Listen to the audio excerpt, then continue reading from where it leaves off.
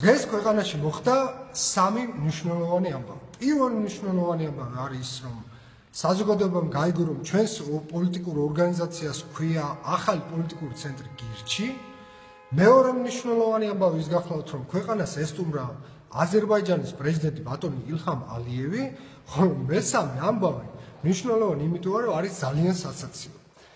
ესე იგი, როგორც კი გაიგო საზოგადოებამ, რომ ჩვენ დავირქვით გირჩი, ნაციონალური მოძრაობის წარმომადგენლები, მთავარი ოპოზიციური ძალის წარმომადგენლები გაიქცნენ კავკასიაში და დომენი გირჩი G დაირეგისტრირეს თავის თავზე, რომ ჩვენ არავით. აი რა გინდა, რამ გაგამწარათ? არც ერთიანი დავირქვით, არც ნაციონალური, არც მოძრაობა დავირქვით გირჩი. რა შეგჭირდებათ ეს გირჩი G? რა გირჩის უნახავები ვიქცევით?